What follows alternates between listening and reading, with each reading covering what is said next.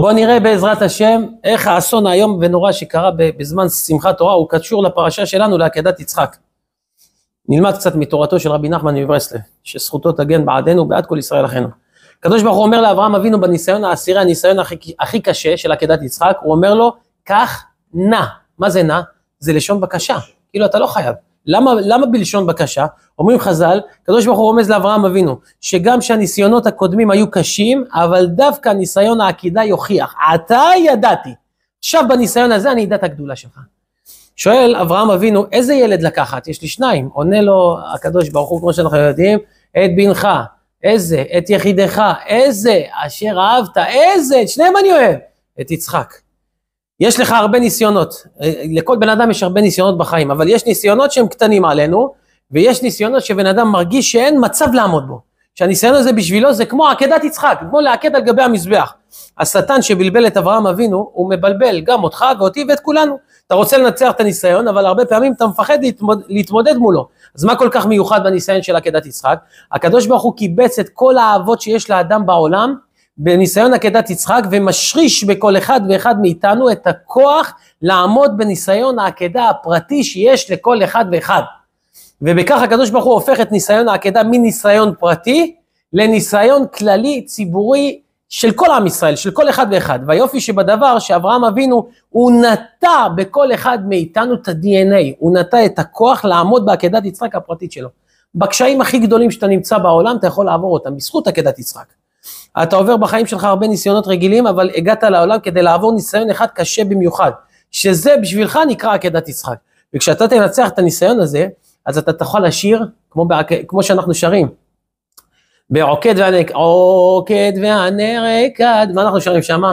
עין במרבוך ולב שמח, זה שווה נצח נצחים. העין שלך תבכה, העין שלך תבכה על הוויתור שוויתרת לכבוד השם יתברך, אבל הלב שלך יגיל וישמח ואין לך מושג עד כמה.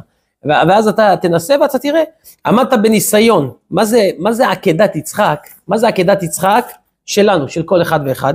בן אדם עומד בניסיון שהוא נוגד את הטבע שלו, הטבע שלו לעשות משהו והוא עומד בניסיון הזה, אז הקדוש ברוך הוא מעיד עליו, אתה ידעתי כי ירא אלוהים אתה. עכשיו אני יודע, כי זה נוגד את הטבע שלך, אתה עשית הפוך. למה רק עכשיו הקדוש ברוך הוא מעיד עליך שאתה ירא אלוקים? כי עשית דבר שהוא נוגד את הטבע ואת השורש נשמה שלך, ואתה זוכה לחותמת מהקדוש ברוך הוא, שעל החותמת כתוב, ירא אלוקים. מכיר באיזה ניסיון שנקרא עבורך עקדת יצחק? יש, כל אחד מכיר באיזה ניסיון שיכול לקרוא לו עקדת יצחק? גדולי האומה עמדו בכל ניסיון, למה? כי הם ידעו שאפילו בהסתרה, שבתוך ההסתרה, בוודאי גם שם נמצא השם יתברך. תן לנו עידן. ואפילו בהסתרה.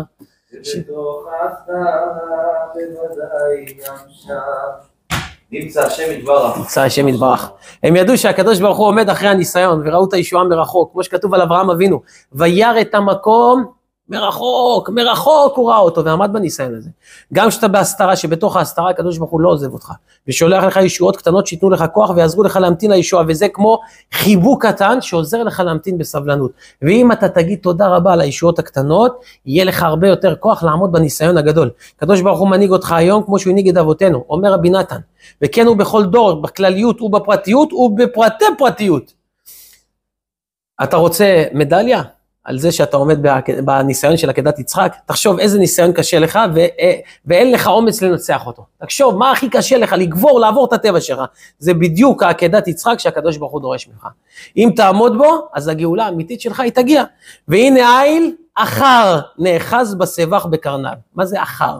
אומר החוזה מלובלין, והנה איל אחר, נולדת עם איזה מידה או תאווה שקשה לך לתקן. משהו אחר. וידועים דברי הבעל שם טוב הקדוש, שהרע, אומר הבעל שם טוב הקדוש, זה כיסא לטוב. אם אתה תנצח את העקדת יצחק הפרטית שלך, הנשמה שלך תאיר בשמחה אמיתית ובאור אלוקי. למה? כי נר אלוקים נשמת אדם. הנשמה היא משולה לנר, וכשהיא נוגעת בקדושה, מה קורה לה? היא נדלקת ומתלהבת, והיא רוצה עוד קדושה. היא, הנר הוא שואף למעלה, הוא רוצה כאילו לעלות למעלה, עוד קדושה. וכבר אתה לא תהנה מדברים ששווים הכל בשקל. אלא הנשמה שלך תרצה יהלומים אמיתיים, היא תרצה את האמת. איזה הוא גיבור? הכובש את יצרו, נכון? שואל רבנו משה חיים לוצטו בעל המסילת ישרים. ולמה לא כתוב יצר הרע?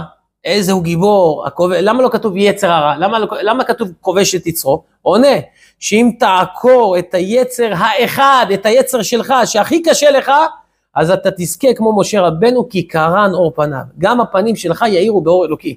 לכן כתוב יצרו ולא כתוב יצר הרע. כל אחד היצר שלו, אם אתה תעקור, תעקור אותו. אברהם אבינו נטע בכל אחד ואחד כוח פנימי עמוק לעמוד בניסיון המיוחד שבשבילו הוא הגיע לעולם. לכן לפני הגאולה כל אחד יהיה חייב לעבור ניסיון קשה באמונה ובקדושה, ממש כמו עקדת יצחק. כל אחד יש לו עקדת יצחק משלו. אבל הוא צריך לזכור שהקדוש ברוך הוא תמיד איתו, ואף פעם לא עוזב אותו. מרחוק השם נראה לי. תראה את הגאולה מרחוק ותדע שהיא קרובה לבוא. וזה יעזור לך לשמור על, גחלה, על גחלת התקווה שהיא תביא את הגאולה שלך. להודיע לכל קרוביך שלא יבושי ולא יקלמו לנצח. ואומר רבי נתן, שחסדיו יתברך מתחדשים עלינו בכל יום. כל יום מתחדשים החדשים של הקדוש ברוך הוא רק תסתכל טוב, תסתכל בעיניים שלך. האמונה והתקווה מחזקים את הלב ועוזרים להמתין לגאולה. רבי נתן אומר על, על זה חידוש נפלא. אומר רבי נתן במילים שלו, זכות עקדת יצחק עומדת לדורי דורות. לדורי דורות, ואפילו כשקשה תזכור, מרחוק השם נראה לי, תדייק במילה מרחוק. דווקא כשנראה לך לא, דווקא מפה אתה תראה איך הקדוש ברוך הוא נראה לך. הראייה מרחוק תעזור לך להתחזק. ולהישאר על עומדו בכל עת, בכל מה שיעבור עליו, שיש עניין שהכל יתהפך לטובה. אם יש לך תקווה, אתה תצליח לשמוע את העצות שהקדוש ברוך הוא שולל לך מהחוק, יש חוק לגאולה. הכל נמשך ובא, וממרחק, מאוד מאוד.